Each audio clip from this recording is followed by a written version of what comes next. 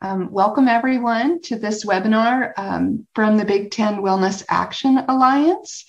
Um, it's titled Life Champions Project, and it's being presented today by the University of Nebraska Medical Center College of Nursing uh, Kearney Division uh, faculty, including um, Assistant Professor Carol Wahl, Instructor Shelly Amsberry, Instructor Nancy Stuart, and Assistant Dean and Clinical Associate Professor Cathrin Carithers. And so I want to welcome um, our colleagues, and I will turn this all over to you all. Thanks. Thanks, Alice. Um, thanks for the opportunity to, to, present on Wellness Wednesday. What a wonderful uh, topic, I think, for today.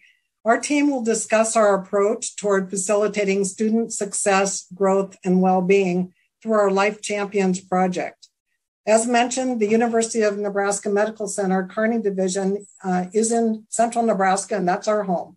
We have a beautiful interprofessional campus with traditional baccalaureate, accelerated, and graduate nursing students working side by side with allied health, which we believe is a strength for us. In 2018, we first discussed that students increasingly appeared to be struggling. They didn't seem to be prepared for the rigor of the baccalaureate nursing program. Students would tell us they had never gotten a grade below an A. Um, they would tell us that their go to technique for exam preparation was cramming the night before or a few days before. Uh, they seemed to lack uh, uh, effective coping skills. So when students got a grade below an A, they were devastated and wondered if nursing was the profession for them.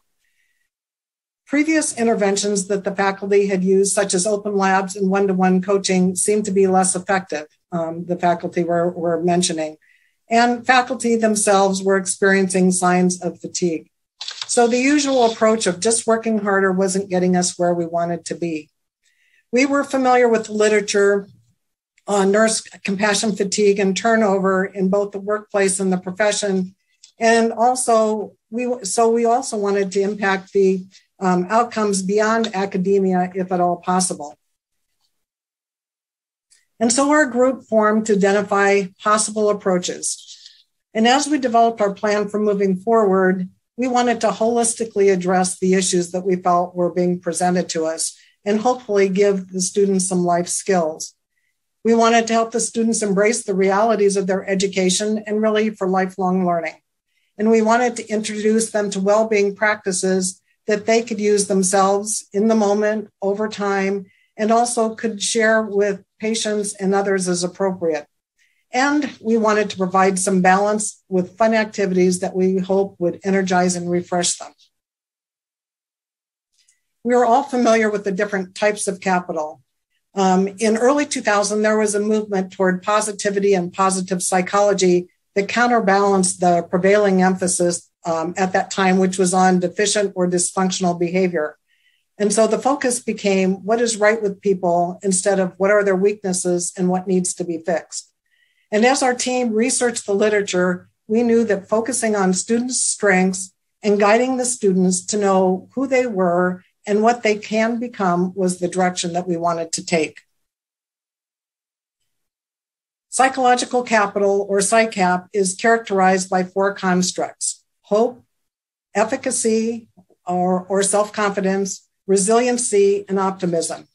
Each construct is independently relevant in predicting attitudes and behaviors, and together they're synergistic.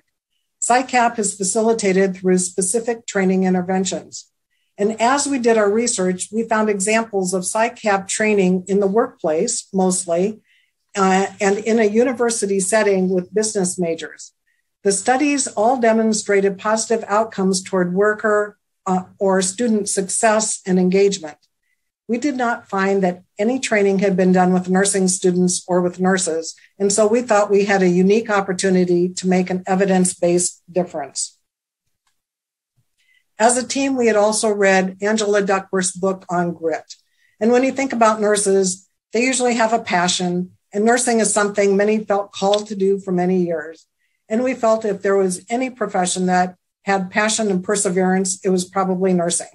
We wanted to see if there was a relationship between PsyCap and grit and look for ways to promote grit within nursing students.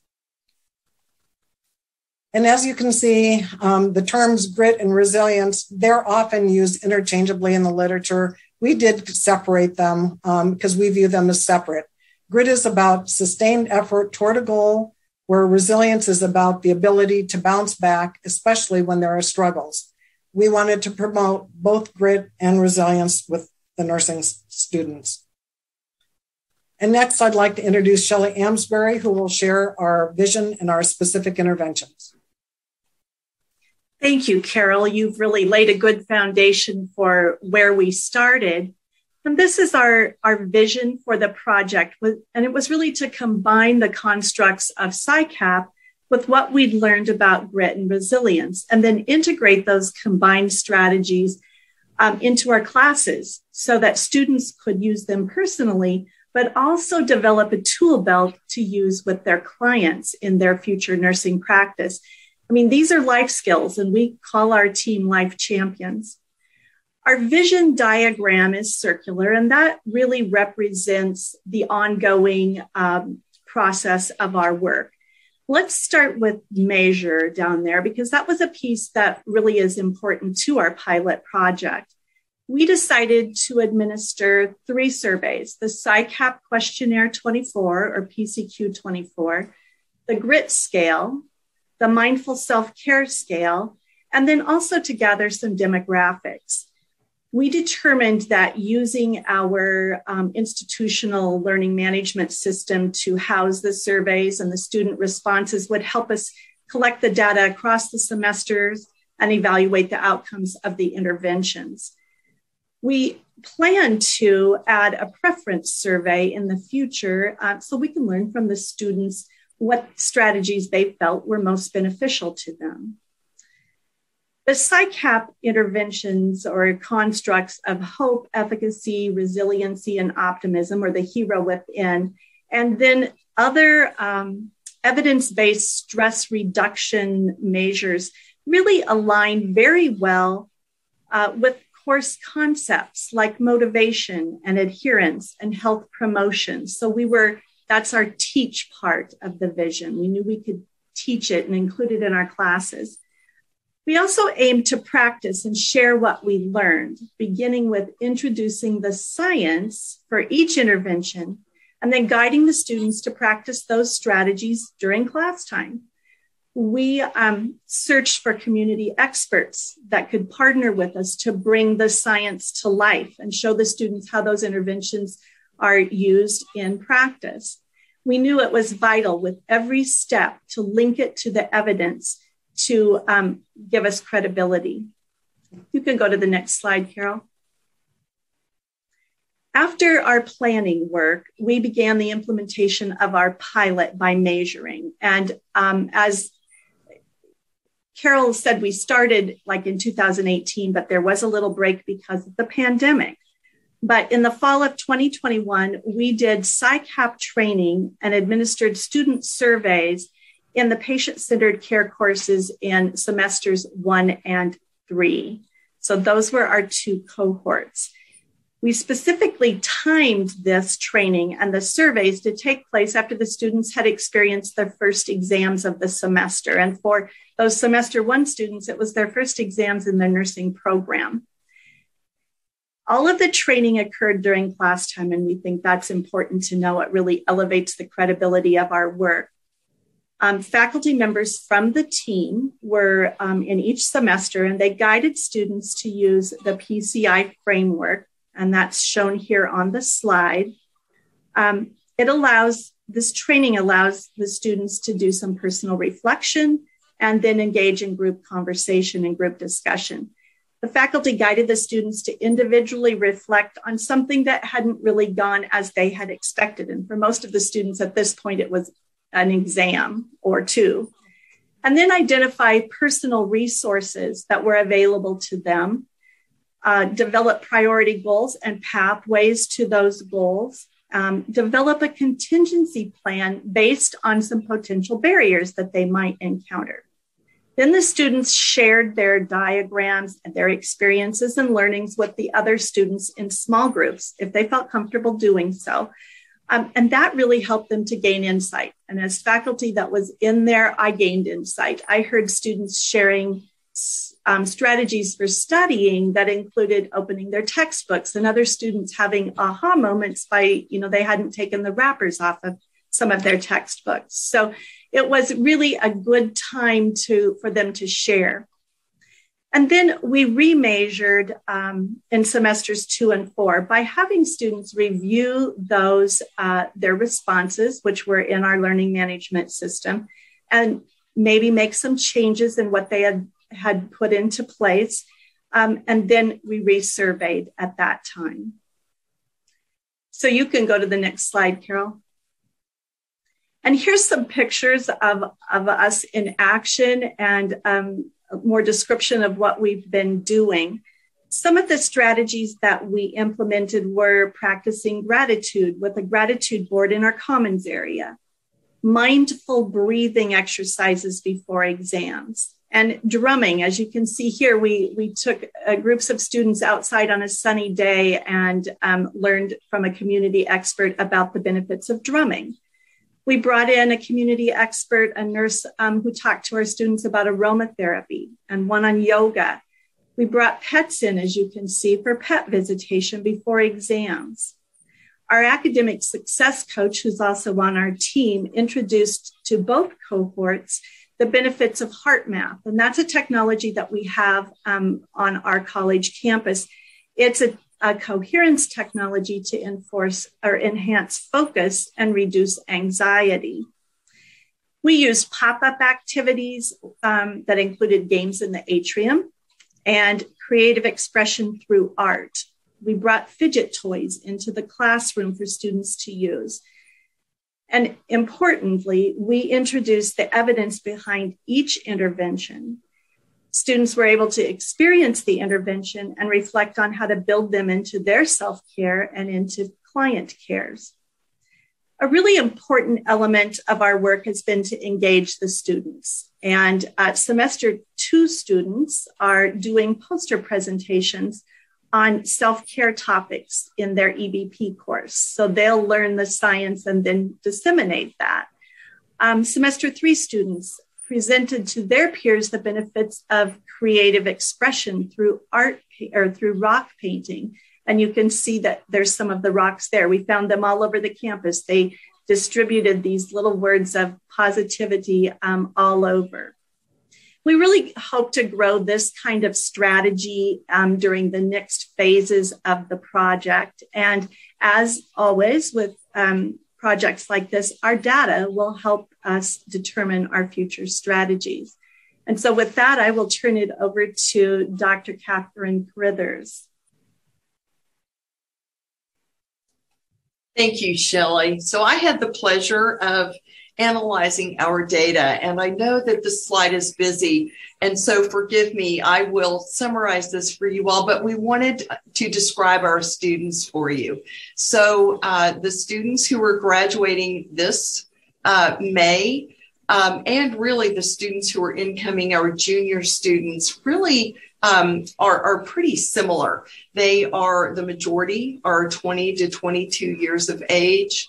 Uh, with uh, the oldest in as a 23 graduate who is 34.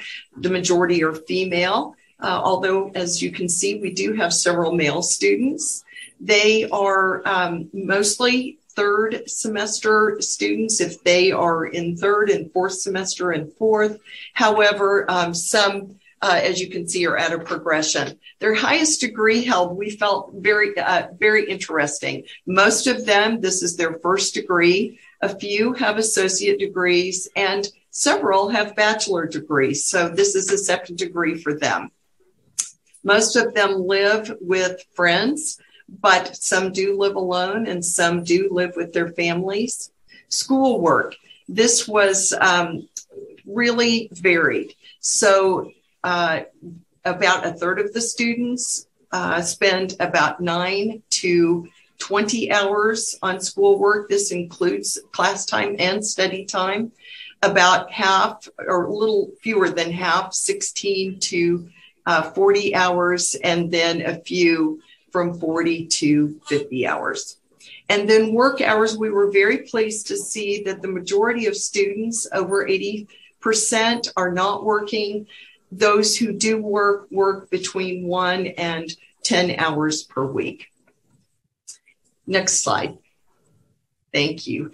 In evaluating the uh, surveys for the PsyCap data and the GRIT data, again, really um, comparing the students um, just uh, uh, with the demographic data.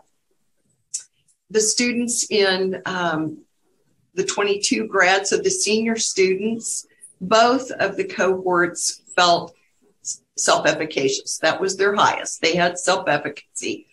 The senior students were hopeful and felt resilient.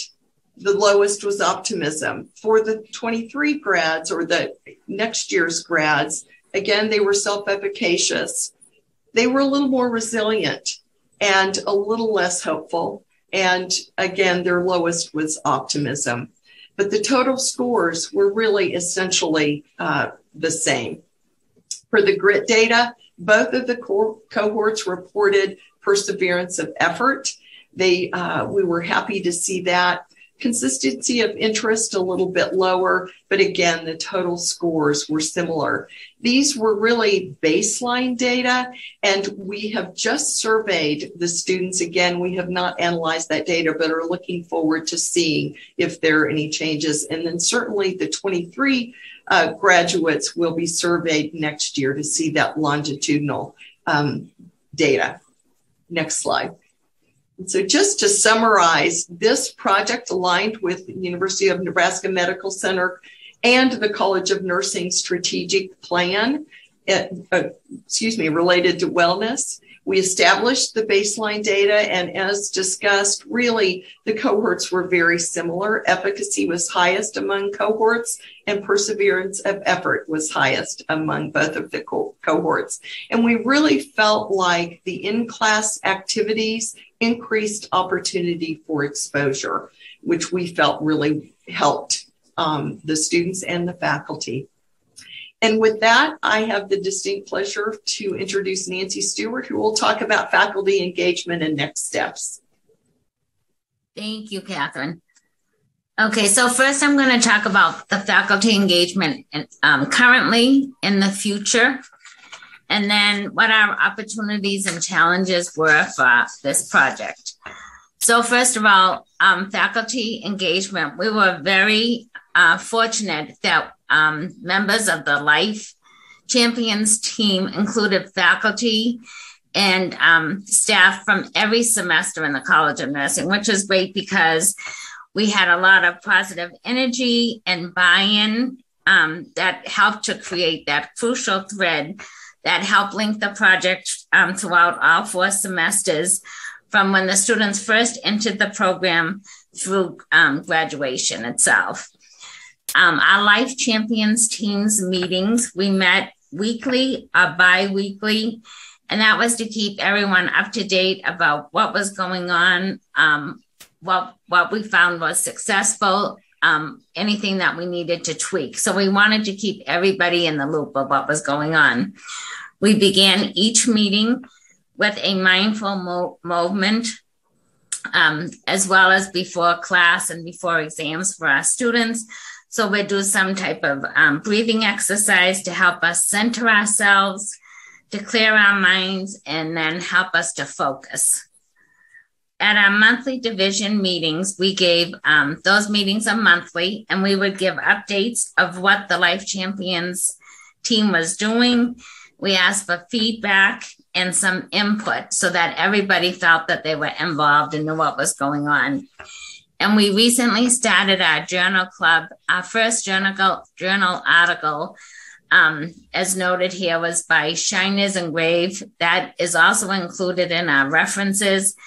Um, it was an excellent article to start our journal club with um, because um, the article talked about the different um, type of um, generations of students that we have in our um, nursing program, and it's specifically focused on Generation Z, which is includes most of our a large percent of our students at the present time. So we we really enjoyed that, and it was a great kickoff to our journal club. Next slide, please. So this is our faculty engagement for the future. As far as pre-semester planning, we found that if you do not look at your calendar um, before the semester begins, um, what happens is that the, it's really hard to add in the PsyCap survey and activities once the you've planned out your semester. So we've we've decided it's really vital. It cannot be something that's just squeezed in. It has to be scheduled and it has to be deliberate and intentional. And so this information also needs to be um, scheduled on a master calendar so it can be disseminated and made available so all faculty and staff can participate in the activities as well. For our professional role modeling and identify, identity formation, um, this has to be ongoing teaching, demonstrating professional role modeling, values, and identity formation that begins day one of nursing school and continues throughout our nursing career. Um, the continuous improvement, um, this starts in semester one as a crucial thread that um, goes through all four semesters from program entry through graduation. And we continue to evaluate what activities were successful and what we could always improve upon. At the present time, the PsyCap survey was only given to our students in our nursing program, but in the future, we definitely want to include faculty and staff to take those surveys, to complete the surveys as well and our PsyCap training, the psychological capital interventions training. Um, we would give that was originally developed um, for business training in 2002, and the focus was on the work environment and trying to promote um, the positive strengths of the workers and have an impact on performance. But we have been given permission to adapt the focus for academic training. And our aim is to improve it through grit, um, throughout the semesters of study. And as talked about, grit is nurtured through approaches supporting professional identity, goal setting, and social connections. Faculty and staff will learn and practice evidence based self concepts of guided imagery, breath awareness, and gratitude. They will learn and experience various integrated modalities to include mindful, approaches, creative expression, and therapeutics in their clinical learning activities. Social and team activities will support student and faculty interactions. Next slide, please. So these were some of our challenges and opportunities for growth. We live in a rural um, geographical area in the Midwest. So we did have um, limited access to some community wellness practitioners. But it's very interesting as we've shared our wellness program um, with others. We have found that there's an increasing interest, and that has opened opportunities where people who have an expertise in an area um, have volunteered to come. And, um, for example, a yoga instructor found out what we were doing and she has volunteered to come to our students and to teach yoga for like a 20 minute segment. And so that's really great and we hope as as a wellness program um, enlarges and continues to grow that it will open more opportunities for others as well. Um, i'm a transplant to nebraska but people in nebraska say there's only two seasons there is winter and summer it's either extremely hot or extremely cold. And we have found that um, our wellness activities have to be centered based on what the current temperature is. So, for example, in the fall, we did some drumming activities and outdoor yoga. And that was great when the weather was beautiful and in the 70s and 80s. As the winter approached in Nebraska, we had to do um, indoor activities such as the rock painting that Shelly showed pictures of, um, aromatherapy, journaling, And then um, some outdoor activities um, include things such as the pet therapy as well. And that can be indoor or outdoor. And that the students really loved that as well. Um, so integration throughout the curriculum and time limit. As we said, um, we want this, our wellness program initiative begins on the day the students enter the program. And to do that, we have to make sure that we specifically devote time in the schedule as we're doing our planning to make sure that um, that um, is um, in our schedules and we make it very deliberate and intentional and we set aside the amount of time because we also have a lot of core concepts that we have to teach so we know we have limited time but it's a priority and we make it that way by putting it into the schedule at the very beginning as we're setting out for our entire semester. We make it a priority. And then finally, the funding for education, specialty training, uh, resources, and faculty and staff time. Because it is a priority and because we want to keep our program going, we know we need to look at grants and other sources of funding in order to continue our program and on based on our baseline data that we've collected so far we know that um, what we're doing is very effective so we have to then figure out how to keep this going. Next slide. These are members of our life champions team. We have faculty from all four semesters as i said and the staff members are also included on the team. And I'd like to recognize one particular faculty member listed on the, on the um, team, Michelle Alamaya, who passed away last month. She was one of the original members of the Life Champions team and was a huge proponent of the importance of self care and wellness. Next slide. These are our references that we used. Um, the um, third reference listed is the article that I mentioned um, that we use for our journal club. I hope you'll take the time to look at all these references and there's some valuable information on there. And then the last slide, um, these are an example of um, the rocks that Shelly had talked about. When I come to work and it's really cold in the winter here and it's dark outside, um, one of these rocks, the top one is on our uh, where you fob in to get into the uh, building because of COVID. And it was so great to see this inspirational message there to, you know, start the day, be kind, be yourself. The rocks were also out in the front of the building. Some were placed inside.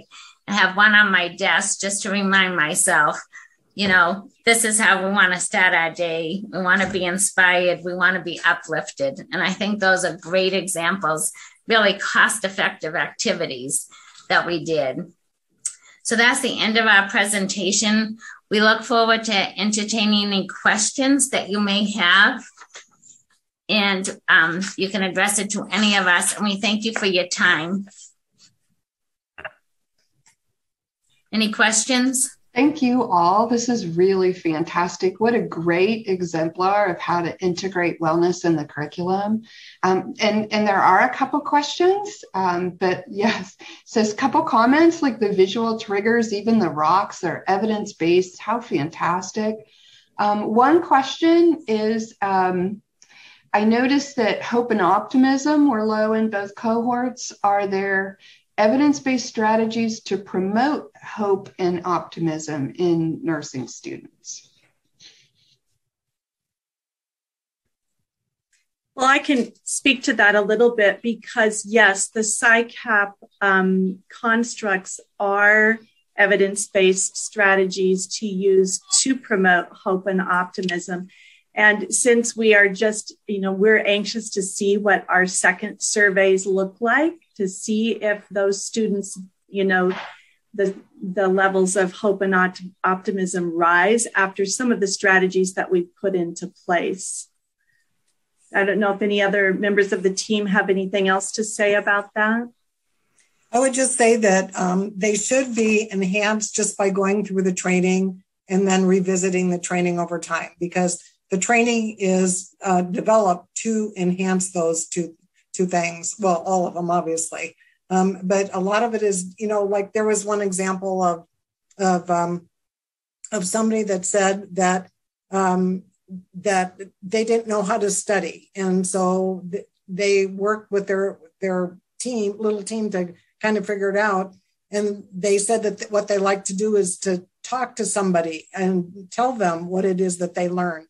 And then one of the barriers was, well, I don't always have somebody to talk to about this. And so then the person came up with the strategy, well, I'll talk to myself in the mirror because then I will be talking to somebody. So, you know, they come up with different kind of strategies on how to move forward with this. And we hope that it will just grow and then that our um, data obviously will, will improve too.